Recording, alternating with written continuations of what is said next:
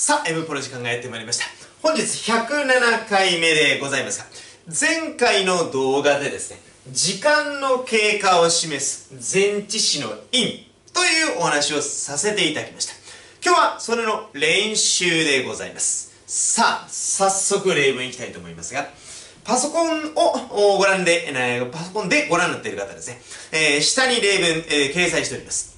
そして、スマホでご覧になっていただいている方は、画面の右下ですね、えー、多分こういうボタンがあるかと思いますので、えー、このボタンを押していただいてですね、えー、いただきますと、その下に例文掲載されているかと思いますので、ちょっと考えていただけますでしょうか。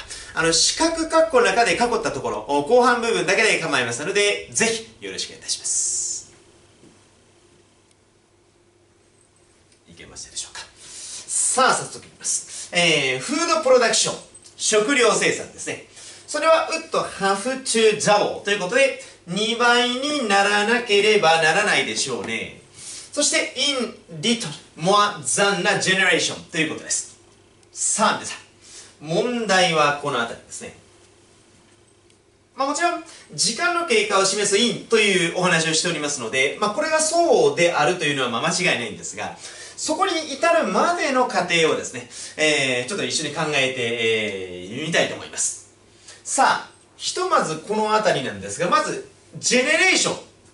皆さんおそらく世代、1世代という感じで認識しているかと思いますが、そもそも何年ぐらいのことを言ってると思いますか ?10 年ですか ?50 年ですか？100年ですか。イメージをしていただきたいのは大人がですね、えー、子供を産む。子供が生まれる。何歳のぐらいの時にですね子供が生まれるのか、まあ、もちろん人によりけりとはいうものの一般的にはこれでございます。30歳。なので1世代というのは30年のことだと。こういうイメージをお持ちいただけるとよろしいかと思います。いけますかね？ですから、1世代、えー、大人は子供を産む、えー、まあ、30歳ぐらい、こういうイメージでいいかと思います。で、その30年、えー、一応数字が出てきております。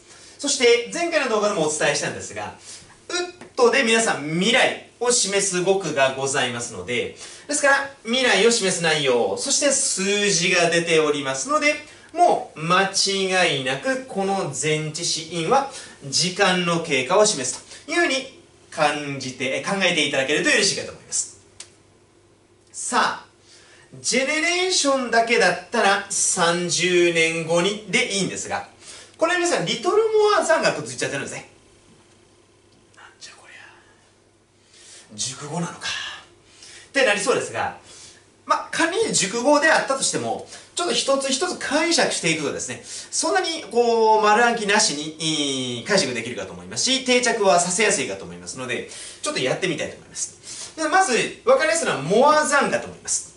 皆さん、モアザンどう訳しますか ?30 年よりも多いって感じですね。もしくは30年以上という認識をお持ちの方いらっしゃるかと思います。ですから、例えば皆さん、この動画を今ご覧になっていただいているのはまあ、多分2019年だと思いますが、えー、2019年を一つの例にとるとですね、えー、30年以上ということなので、少なくとも2049ですかね。えー、これ間違ってますよね。えー、2049年よりももうちょっとですね、えー、時間が経ったそうです。ただし、30年以上というのは、果たして40年なのか、えー、50年なのか、うーん、えー、31年なのか、うーん、ってなりそうです。で、そこで、リトルがくっついているんですね。もちろんリトルは少ない。少しというイメージでいいかと思います。ですから、2049年うん以上ということなので、2050、2051、2052点点点点点。でもそれはちょっとだよって感じでいいかと思います。ですから、まあ、あまり行き過ぎてもどうかなという感じがいたしますので、まあ、これぐらいにしておきましょうかね。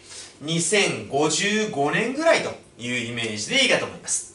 ですから、あ30年以上なんだけれども、えー、あまり行き過ぎず、えー、ちょっとだけですよというところでいいかと思います。さて、イメージは湧いたかと思うんですが、これをどういうふうに日本語に、日本語としてですね、えー、解釈をするのか。うまい言葉は見つかりそうでしょうか？30年以上なんだけどもちょっとだけ。大体これぐらい。いけそうですか例えばこういう感じでどうでしょうか。34年ですね。どうでしょうか。であとはそれに、えー、全地因でございますので34年経った後にという感じですかね。これでいけると思います。ですからあ食料生産は34年経った後に2倍にならなければならないでしょうという感じでいけるかと思いますいけますかねまあもちろん、あのー、これはまあある程度補足事項でございますので、えー、今日のポイントは前置詞 in です。えー、時間の経過を示す in。